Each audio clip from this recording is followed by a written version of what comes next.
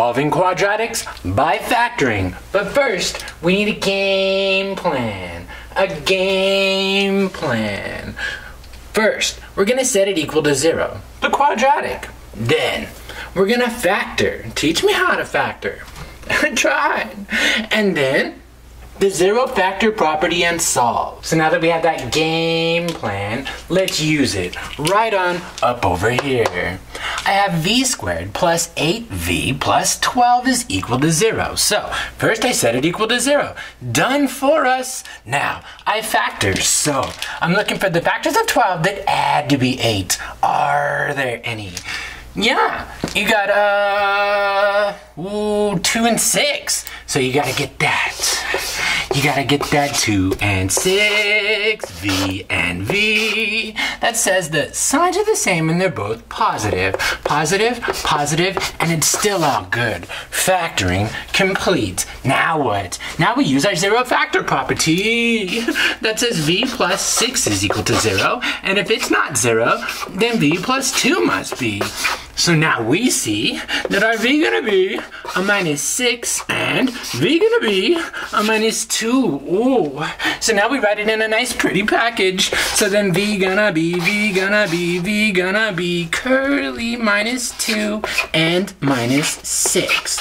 Does it matter the order that I put them in that set? No. I could have put the minus six first and the minus two last because that's a set and order doesn't matter in a set. But I order up another example. This guy over here say, here say, I have c squared minus 14c is equal to a minus 48. Great. Wait. First step, set it equal to 0. So then c squared minus 14c plus, cause, cause, cause when it go over, over the bridge, it pays the toll. 48. That's going to be equal to 0. Now, step 2, factor. Mm, factors of 48 that add to be 14. Are there any? Oh, I don't know. 48. That's 1 and 48. That's 2 and 24. That's 3 and 3 doesn't work.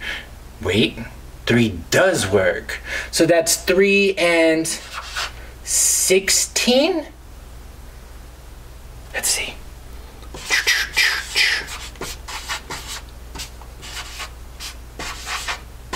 Uh, yeah, 16. Second guess myself. Do any of those add to be 14? No, keep going. So then that's 4 and whew, one, 12 add, yeah, no! 5 doesn't go, 6 does. 6 and 8 is 48. And look, we have some that add. We have some that add to be 14. So you gotta get that. You gotta get that 8 and 6. C and C. The signs are the same and they're both negative. That's a minus 6 and a minus 8. Great. Wait, that's equal to 0. Oh. We'll get to that in a moment. Now, we use the zero factor property and we see C gonna, C minus 6 is 0 or C minus 8 is 0. Then C is 6 or 8. But if you don't believe me, check it! You just found the only two numbers in the entire world that satisfy that equation. I know! Let's go and get another one. So we first need to set it equal to zero. Wait, wait, back that math up. You're a nice quadratic, won't you back that math up? So that's a 12v squared. I changed the sign on that guy. That's a minus 51v and a minus 45. Oh, and then that's equal to zero. Step one, complete. Set it equal to zero. Now what? Oh God, oh God! We're looking for the factors of ah, yeah, ooh, yeah. So then that's uh, 1 and 12 and 2 and 6 and 3 and 4. Then they're all close and stuff, so I know I'm done. What am I using? I'm using the guess and check method. Then this is 1 and 45 and 2 doesn't do. 3, 3 does. That's 3 and 15, all right. And then four, no, five, yes, five and nine. And then, and then, six doesn't go. Seven, no. Eight, no, nine, back there. All right, so we found all the factors. Now we're looking for some groupings that subtract to be 51. Whoo! So 12 and 5, that's 60 minus, no, that's not gonna work. Let's try something a little tighter. So then that's 18 and 30. They need to subtract, so I need to get over it. People have been telling me that for a long time. Um, um, um. 90 minus, no. Um, um, um. Oh, dang. Sometimes the guess and check method just doesn't work out so fast. So let's take the product of those two. The AC method this time. Do they have a common factor? Does 3 go into 51? 3 does go into 51.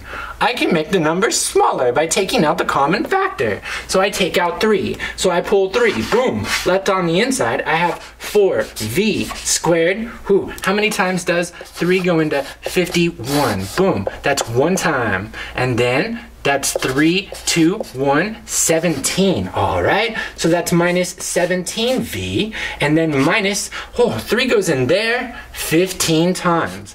15 times. That's still going to be equal to 0. All right, I'm glad this came up. So now, we're looking for 4 and 15 that subtract to be 17. Let's use the AC method. So then 4 times 15 is a negative 45. So we break it down. Oh, all right, stop. It's factor time. That's 1 and 45. That's 3 and 15. That's 9. 5 and 9. We're looking for the factors that subtract to be 17. Oh, I don't see any. Did I miss a factor? Two? No. Three? Yes. Five? No. Yeah. Six? No. Seven? Eight? Four times fifteen. Oh. Four times fifteen isn't forty-five. Sixty. So I'm down here. 60. That's 1 and 60. 2 and 30. That's 3 and 20. found them. That elusive factor. So now we go back to this actor. That 3 is still going to be on the outside, but I'm going to neglect him for now. That's 4v squared. The signs are different, and the big one's negative. So that's minus 20v, and then plus 3v minus 15. What did we do? Nothing. We rewrote 17 as minus 20 plus 3. Now we factor by grouping and I pull a 4V out of there. And left over in there is a V minus 5. All right. And then I pull a 3, a positive 3, and we have a V minus 5. Now that we have that common factor, we can pull that guy out. That's V minus 5 times uh, 4v plus 3. Oh, I'm going to bring that 3 on down now. There's that 3, and that's equal to 0. So now we use that zero factor property. Whew, this one's getting low. I'm going to call it shorty, because shorty get low, get low. So either 3 is equal to 0. That's not true. Let's just x that out. Or v minus 5 is equal to 0. Or 4v plus 3 is equal to 0. Then we see here that our v is going to be 5 or a minus 3 fourths. Curlies.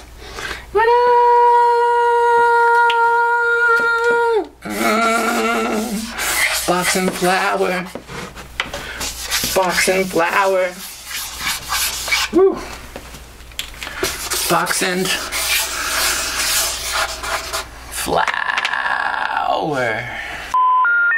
sorry, the number you have dialed is not in service at this time.